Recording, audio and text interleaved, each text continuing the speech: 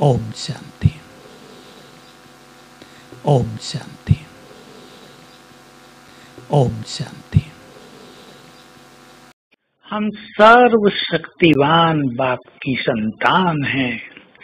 सर्वशक्तिवान के बच्चों का शक्तिहीन होना क्या अच्छा लगता है?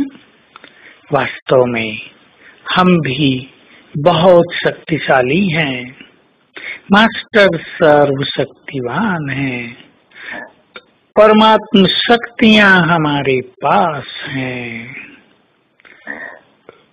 हमारे संकल्पों में ही बहुत ताकत होती है। परंतु हम स्वचिंतन में नहीं रहते तो माया हमें परेशान करती है। एक सुंदर चीज़ के चिंतन में अपने को व्यस्त करें। आठों शक्तियों का चिंतन। और भी बहुत सारी शक्तियाँ हैं, उनका चिंतन। उसमें बिज़ी रहेंगे तो माया हमें बिज़ी नहीं करेगी।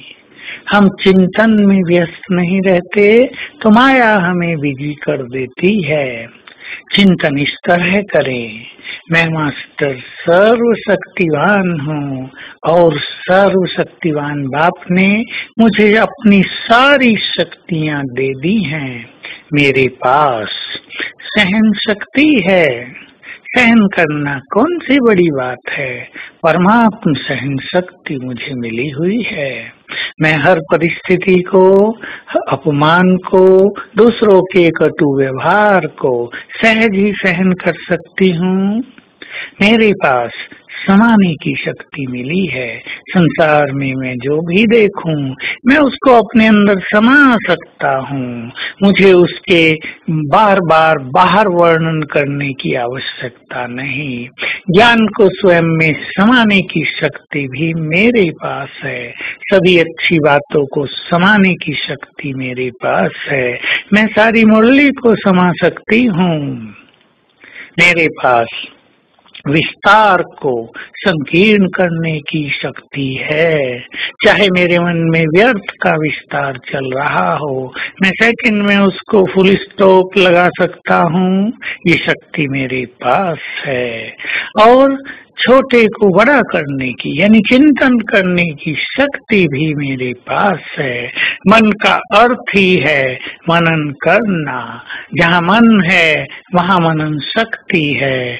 मेरे पास ये शक्ति है। मैं बहुत अच्छी तरह मनन कर सकती हूँ, परंतु यदि मैं व्यर्थ में व्यर्थ के मनन चिंतन में व्यस्त रहूँगा तो श्रेष्ठ संकल्पों का मनन नहीं हो सकेगा। मेरे पास परखने की शक्ति है, कोई भी मनुष्य मेरे पास आएगा, बुरी भावनाएँ से आएगा, बुरे दृष्टिकोण से आएगा, उसके मन में धोखा देने का संकल्प होगा, मैं तुरंत उसको परख लूँगा। मेरे निर्णय भी परफेक्ट हैं, मुझे परमात्मा से संपूर्ण और सुंदर परफेक्ट राइट निर्णय करने की शक्ति प्राप्त है। मेरा कोई भी निर्णय गलत होगा ही नहीं, क्योंकि जो सोल कॉन्शियस रहते हैं, उनके निर्णय सदैव कल्याणकारी और परफेक्ट होते हैं। मेरे पास ज्ञान की शक्ति है, मेरे पास प्योरिटी की शक्ति है, मेरे पास प्रेम की शक्ति है, मेरे पास सेवाओं का बल है, बहुत शक्ति मुझे मिली है।